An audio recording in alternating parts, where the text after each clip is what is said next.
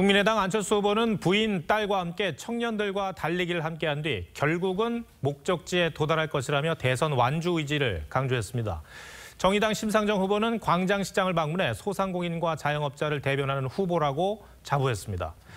이런 가운데 8일 예정됐던 2차 TV 토론은 각 당의 오늘 협상이 결렬되면서 개최 여부가 불투명해졌습니다. 권은영 기자입니다.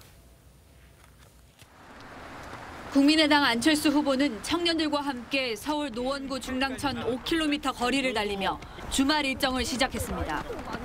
여러 차례 마라톤을 완주한 경험이 있는 아내 김미경 교수와 딸 설희 씨도 함께였습니다.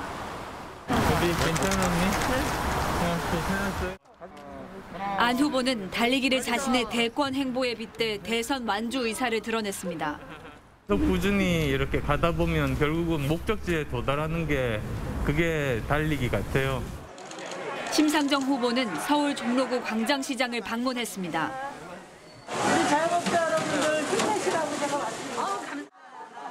지지율 1, 2위를 다투는 두 정당 후보들보다 자신이 더 소상공인과 자영업자 등 서민들을 대변해 왔다며 지지를 호소했습니다.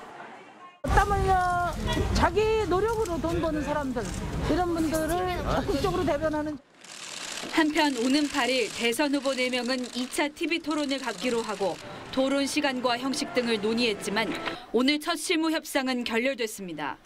이번 토론이 성사되면 선관위가 주관하는 세 차례의 법정 토론과는 별도로 열리게 됩니다.